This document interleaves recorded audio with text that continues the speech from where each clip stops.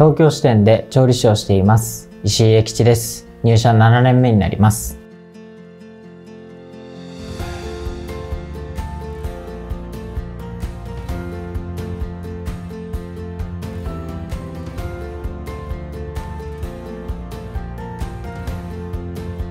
中学生の時に料理の道に進むと決めましたので自分で調理科のある高校を調べ入学しました。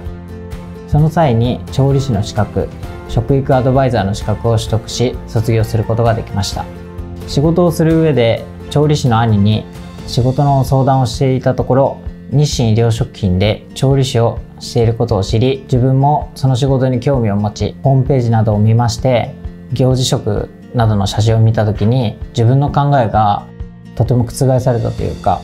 当時病院食はとても味が薄いとか見た目が質素というイメージを持っていたんですがその写真を見ましてとても華やかに盛られてたりとても美味しそうに見えああこんなに細かいことまでしてるんだなということを思い覚えまして自分も日清医療食品で新しい世界に挑戦したいと思い入社することになりました。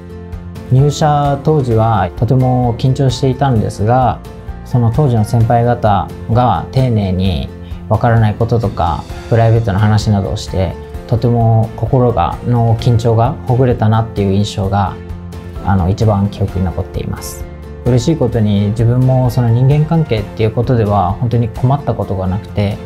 自分自身5つ目の事業所になるんですけど本当にどこも優しく最初から接してくださりもちろんわからないことは丁寧に教えてくれたりコミュニケーションも取ってくださるのでそういう関係ではストレスはあまり感じなかったのかなと思っています。自分のエリアのことの話になるんですけどこの食材がちょっと余っちゃったから他の事業所で使っていただけないかとか欠員出ちゃったから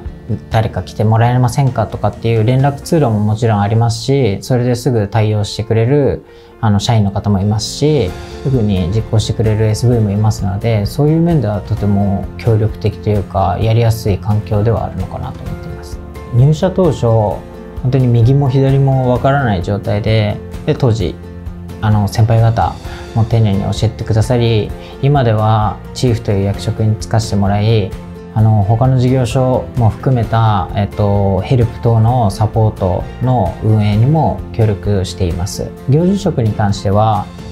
保育園の卒園のケーキを作ったりその中でフルーツを飾り切りしたり子どもたちの食育の勉強で動物の命を知ろうという食育で鮭をさばかしてもらい鮭の魚の構造とかそれをまた食べていただき命の大切さということにも行事食ではやっています。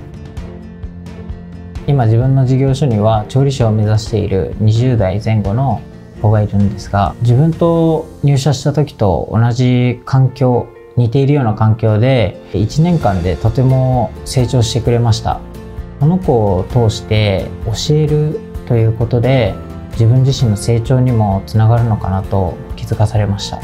切磋琢磨して上に上がってお互い協力しつつもライバルな関係がとても大切だと思っているんです。そういうことををしていくうちに会社自体の人材の方も伸びてくるのかなと思いそういうことで会社には貢献していきたいなと思っています。これからはもちろんどんどんこれから新卒の子で新しい子たちも入ってきますので、まあ、その子たちの環境を本当に良くしていきお互いが切磋琢磨して会社にあのいい雰囲気な風を流し込められるような存在になれたらなと思っています。将来の夢はもう本当に自分の中では調理料理もう本当にそういうことに関わる全てのことには正解ゴールがないと思っています。だからこそ本当に人を育てる人と関わるコミュニケーションをするということで自分自身の人間性というものも成長し調理師としてのことはもちろん成長していければなと思っています。